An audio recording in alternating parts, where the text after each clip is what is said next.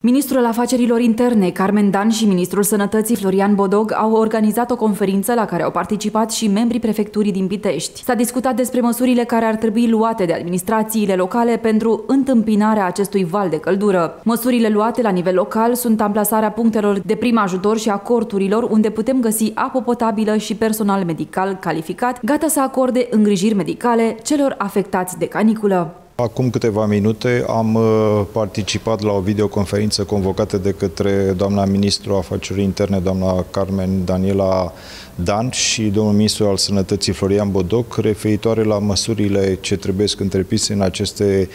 perioadă, în aceste zile și ore de vreme extrem de călduroasă, de cod galben sau cod portocaliu. S-a anunțat în baza informației oferite de către Agenția Națională de Meteorologie și Institutul Național de Hidrologie că județul Argeș este în zona de cod uh, galben de temperaturi uh, superioare, circa 33-35 de grade. Sperăm să forțele care sunt implicate să se mobilizeze exemplar și să intervină atunci când este cazul, dar rugămintea este și către populație